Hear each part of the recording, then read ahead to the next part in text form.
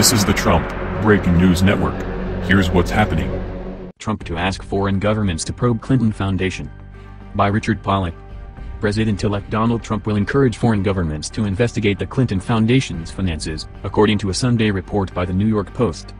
The proposed action follows only days after a rapid-fire series of announcements from many major Western foreign capitals that they are reducing their contributions to the Clinton Foundation, or investigating the charity's money trail in their countries. The Australian government confirmed Friday it is not renewing its several partnerships with the Clinton Foundation, according to Australian news sources.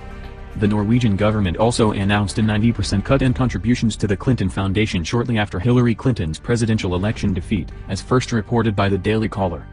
The Commonwealth of Australia and the Kingdom of Norway have each contributed up to $25 million, according to the Clinton Foundation's website. In France, federal comptrollers reportedly have begun an investigation into millions of dollars of government money that ended up at the Clinton Foundation, according to a document reviewed by the Post. Financial pullbacks by such large Western foreign governments suggest their support was based more upon Clinton's potential influence as president of the U.S., rather than on the merits of the foundation's work.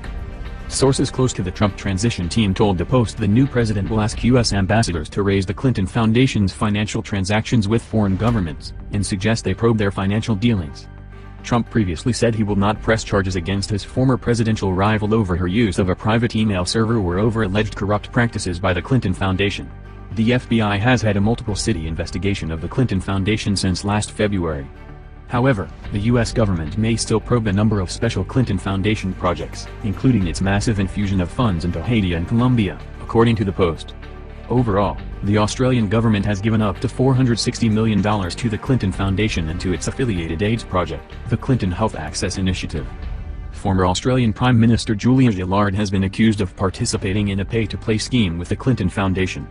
After Gillard lost her prime ministerial post in a June 2013 confidence vote with Labour Party leaders, she became chairwoman of the Clinton Global Partnership for Education in February 2014.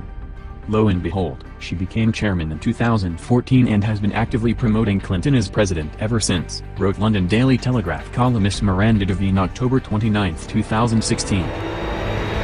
This has been the Trump Breaking News Network.